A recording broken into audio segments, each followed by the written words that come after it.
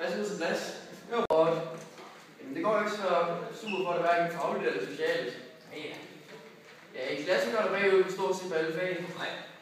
Øhm, Frederik, det er du. Husk Øh, og øhm, du lavede den her aflevering, den blev øh, kopieret igen. Det er rimelig åbenlyst, når vi er pædiaterkontrol her på skolen. Og du burde, du burde, jeg tror, du kan mere, end du gør. Det sagde din mor også i går. Frederik, du får næste chance nu. Du får den her med hjem, og så vil jeg have en ny aflevering om to dage. Glad. Frederik, hvis jeg var dig, så er det nok råd til at lave, bruge den chance, jeg giver dig. Det er Frederik,